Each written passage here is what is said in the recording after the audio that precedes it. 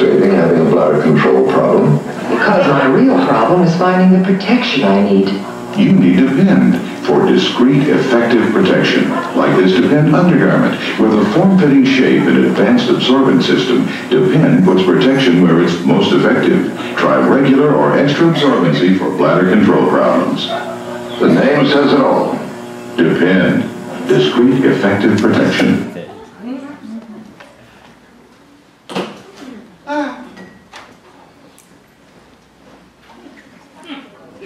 Hey, Otis. You ever heard of anybody by the name of Big Jimmy? Well, no, I can't say as I have. Why you ask? Well, no reason.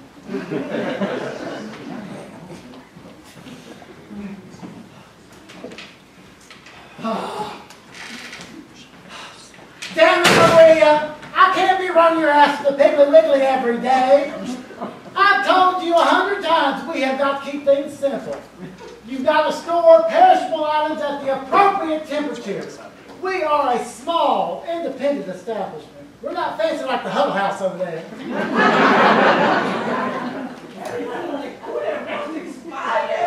I told you that an expiration date is only a suggestion.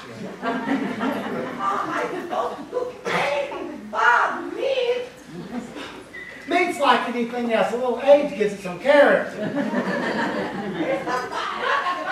Oh, don't start all that shit again. I was bad enough I had to listen to that mariachi music in the truck. Now, put all this stuff away. We've got customers.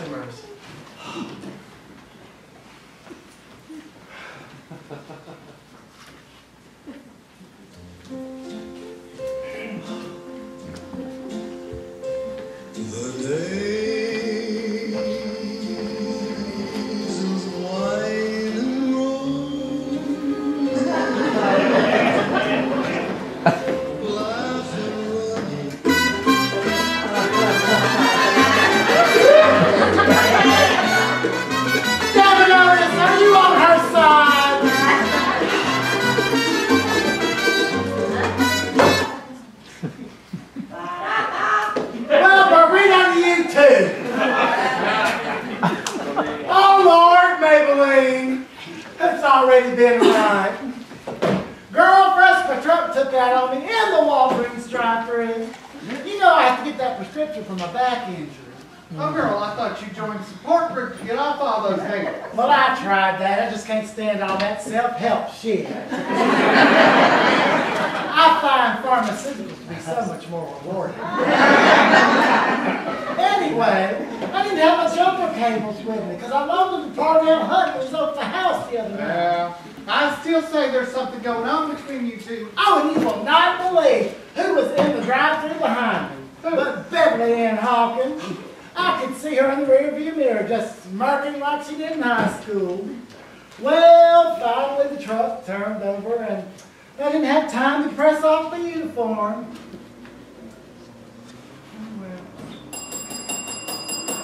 Damn it, Maria! I'm standing right here. I can hear you. You're ringing that bell. Shit. Oh, and girl, you won't know. You when the radio came back on, there was some news. Oh, I cannot believe it. It was just terrible. And I, Oh, excuse me, Mary Kay. oh, this. Can you not see I'm in the middle of a very important conversation? But I ordered that without tomato. I'm sorry, hon. Would you like me to take it back and have it remade for you? it. Would be my pleasure.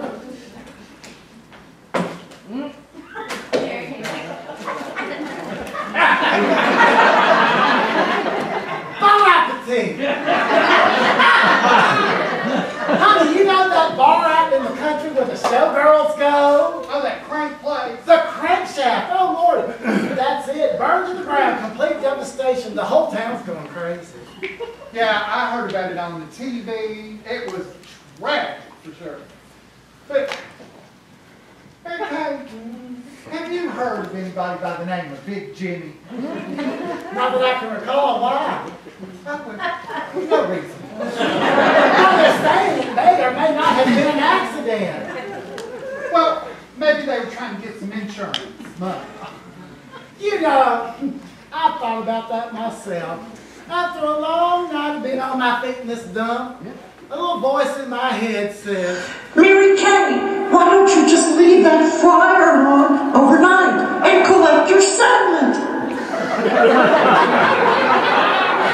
I have to realize we don't have any insurance. Well, a girl can dream, can't she? Oh, well. What is she doing in here? Oh, Maybelline. She's gonna ruin our reputation. Well, honey, it don't take much. Where's my bag? Now, Excuse me. I don't know what's going on over here, but this is a respectable establishment.